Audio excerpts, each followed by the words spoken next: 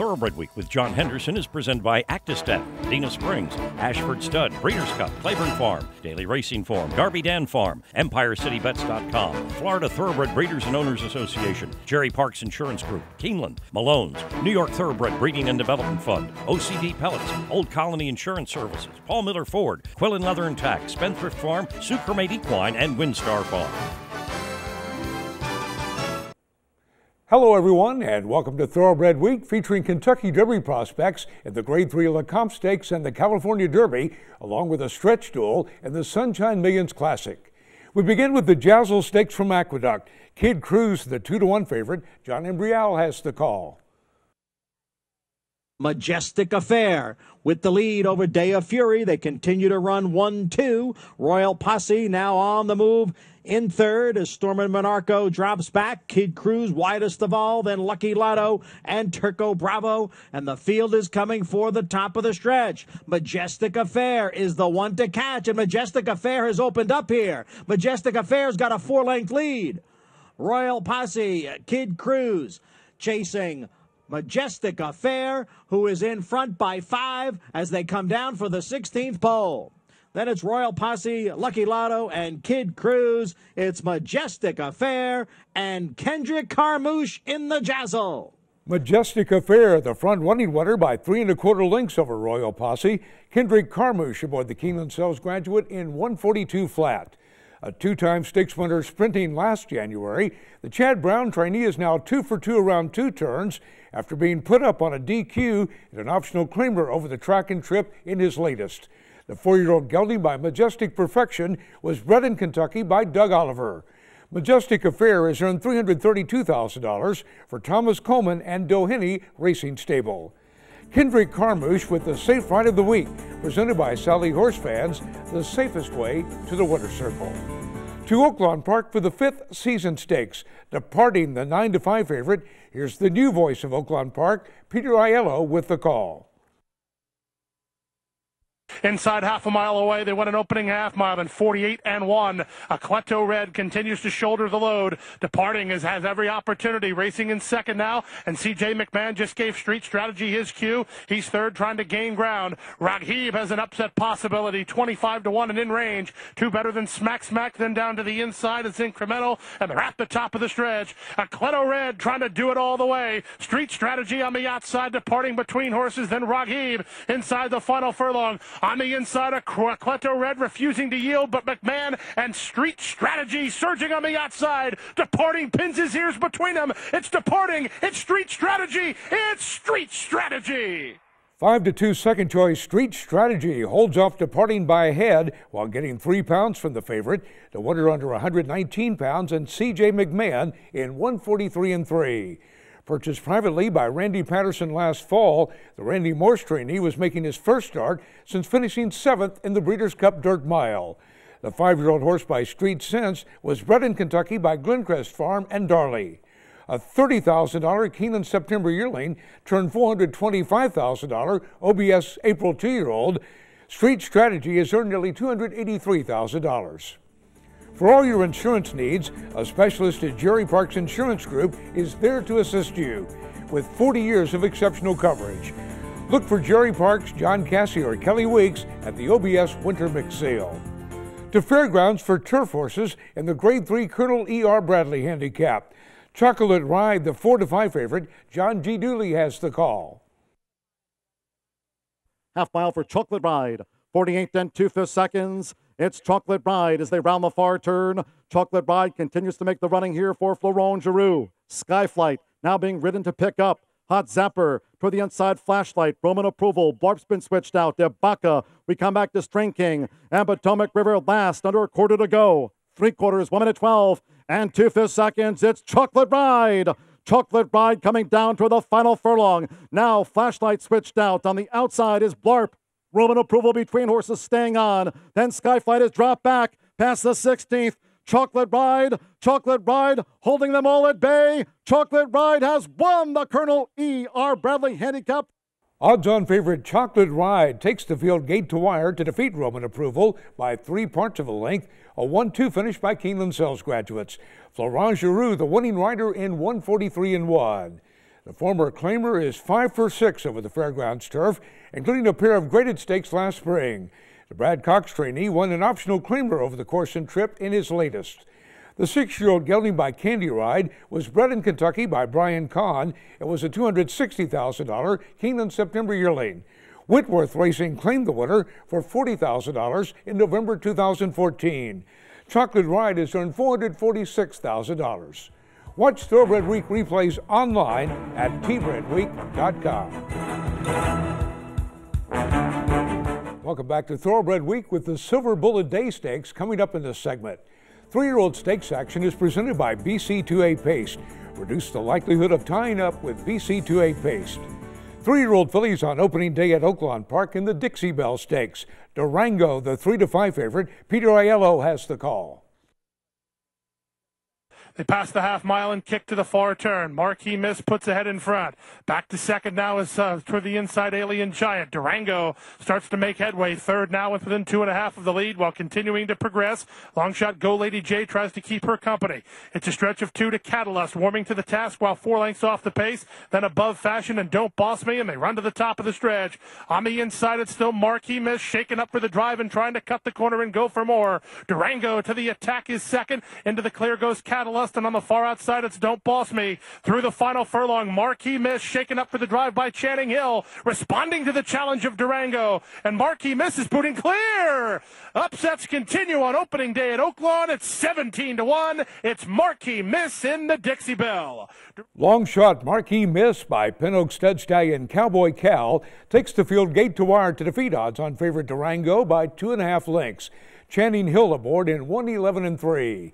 Winner of the Arlington Washington Lassie first asking, Marquis Miss finished off the board in her next three starts at two. But the Ingrid Mason trainee is sharp in her three-year-old debut. The filly was bred in Kentucky by David Jacobs. A $20,000 OBS June two-year-old, Marquis Miss has earned nearly $105,000 for Joe Ragsdale. For Darby Dan Stallions, Jersey Town, Perfect Soul, and Televicati, graded stakes winning or graded stakes producing bears are eligible to breed for free. Stakes winning or stakes producing bears are eligible to breed at half off the stud fee. The Breed Secure program is also available at a 50% discount in 2016. To Aqueduct for the Ruthless Stakes. After four scratches, only three challenged 1 to 20 favorite Constellation. Once again, here's John Imbriale. Constellation by a clear length.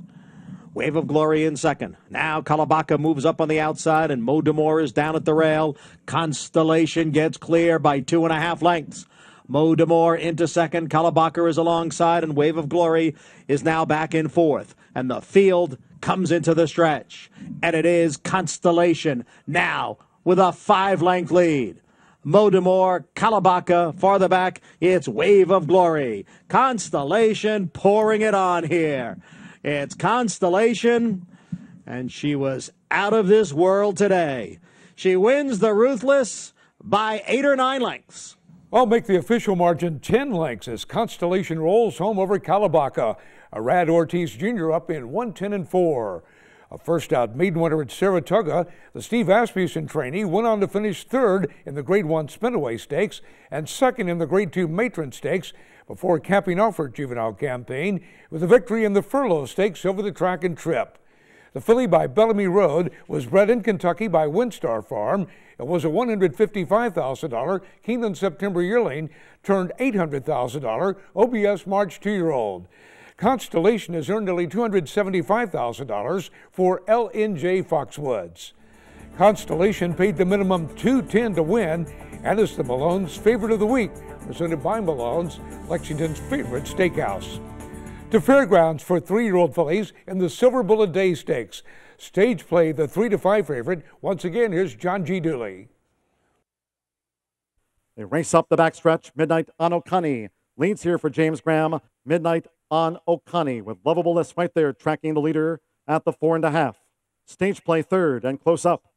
Annabelle moves up between fillies. Jet Black Magic, the Delta Princess champion, holds the rail with inside four furlongs to go.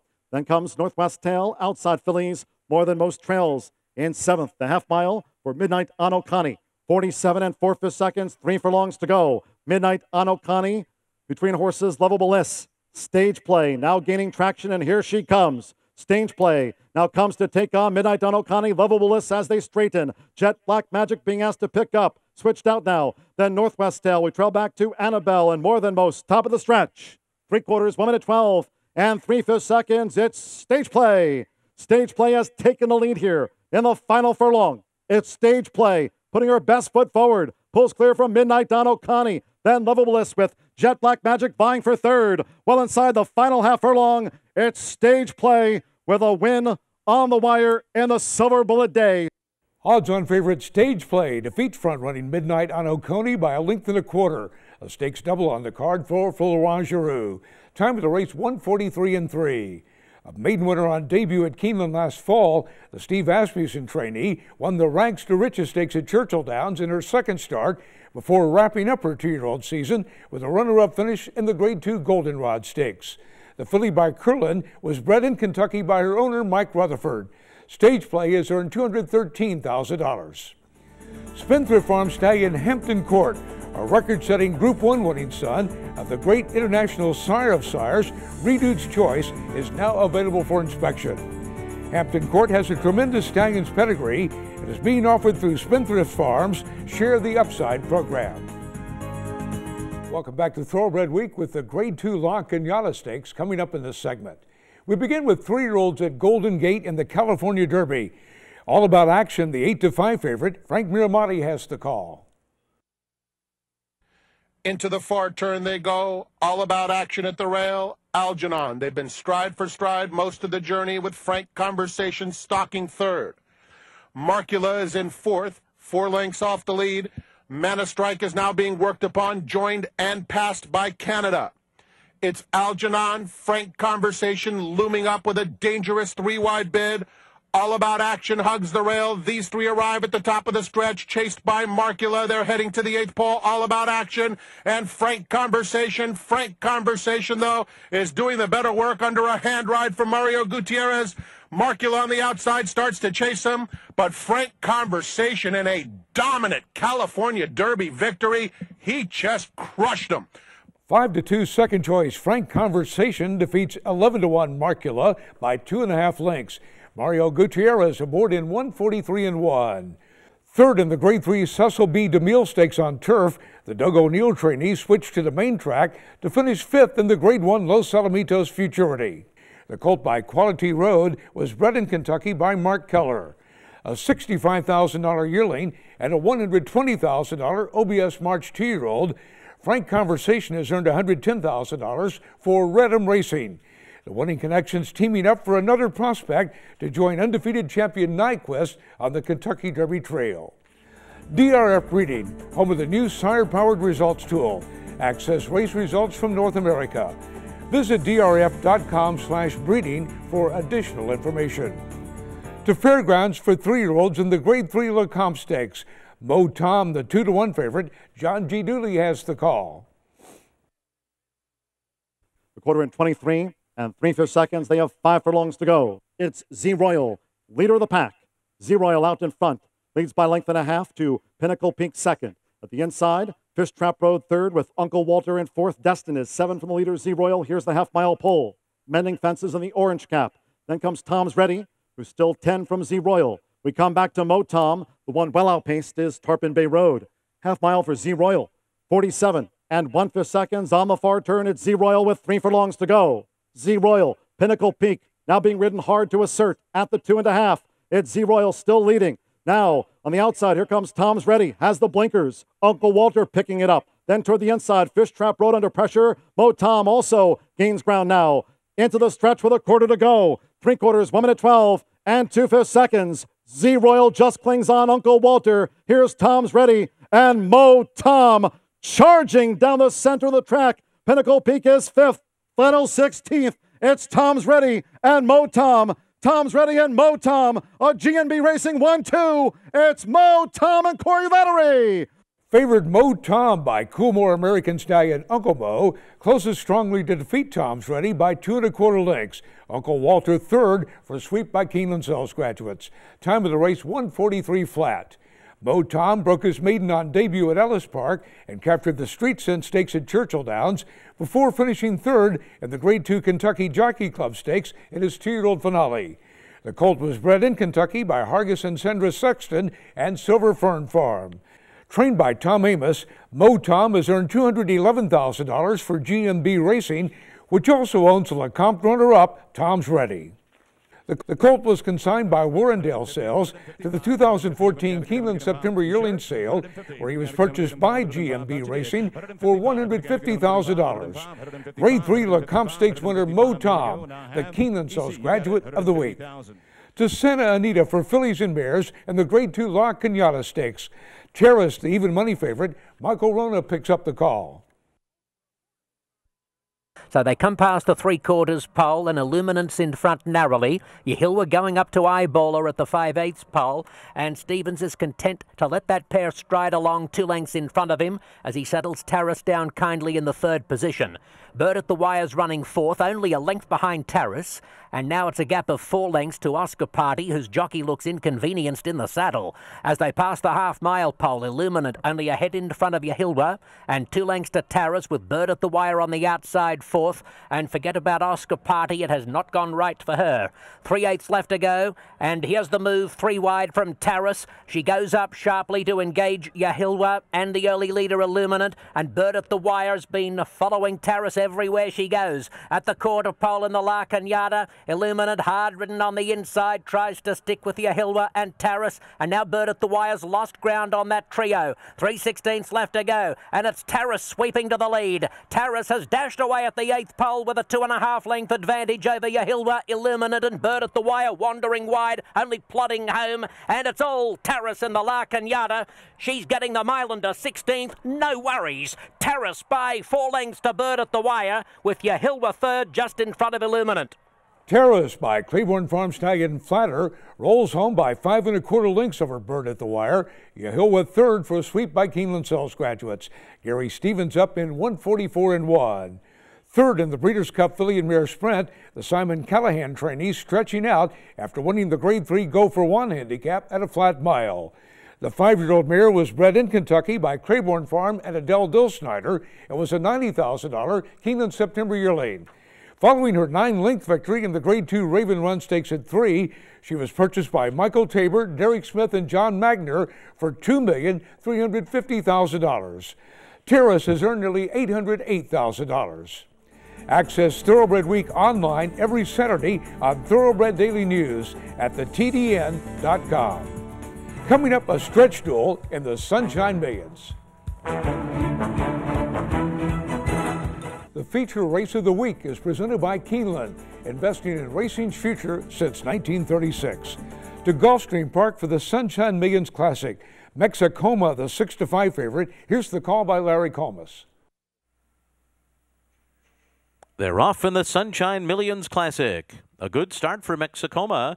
Abounding Legacy runs with Bulls, Senor Quisqueyano, and Morgan's Harbor all showing early speed, and Mexicoma got caught in behind them there and had to steady in traffic going into the turn. Mr. Jordan now moving up on the outside of horses as Senor Quisqueyano and Morgan's Harbor make the pace. And Mr. Jordan is up running in third now on the outside, then runs with Bulls and Mexicoma, followed by Abounding Legacy down at the rail. Catholic Cowboy and Saraguaro are next, and then comes Roland the Navajo, and last of them all is Your Dream dreams are mine. They went 23 and 2 for the first quarter mile.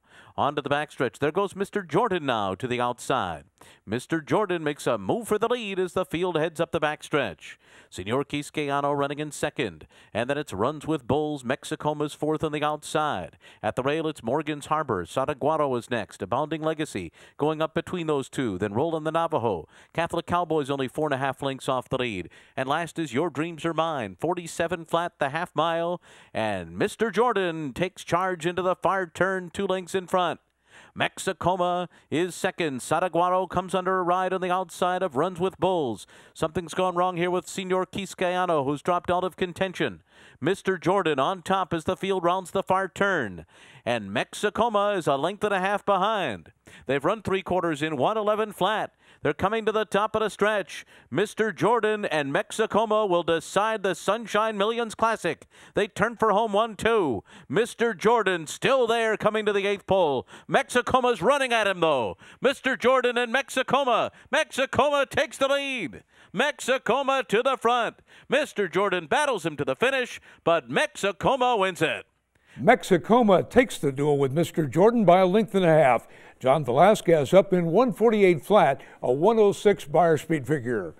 Following a fifth place finish in the Harlan's Holiday Stakes in December, Mexicoma records his first stakes victory. Team Valor International purchased the winner privately from trainer Michael Dilger after he broke his maiden by 13 and three quarter lengths at Delaware Park as a two-year-old. Mexicoma has earned $290,000. Five-year-old horse by Birdstone was bred in Florida by Hickstead Farm. Florida breds, race them or chase them. We'll see you next week here on Thoroughbred Week. Thoroughbred Week has been presented by Actistat, Adena Springs, Ashford Stud, Breeders' Cup, Claiborne Farm, Daily Racing Form, Darby Dan Farm,